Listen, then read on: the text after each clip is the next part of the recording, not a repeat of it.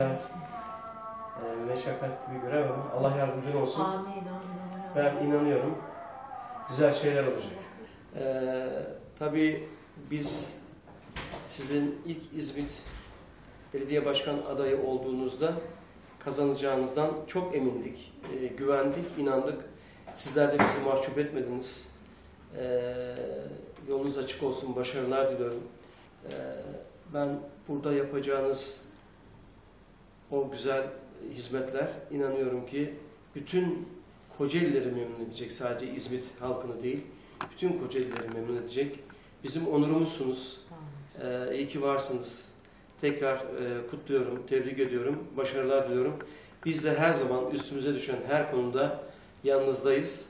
Ee, İzmit'te her şey çok güzel olacak. Ne olacak? Can yardımcıma çok çok teşekkür ediyorum bu nazik ziyareti için. Ayağına sağlık, yüreğine sağlık. En başından beri müthiş bir e, destek ve müthiş bir inançla arkamda durdular.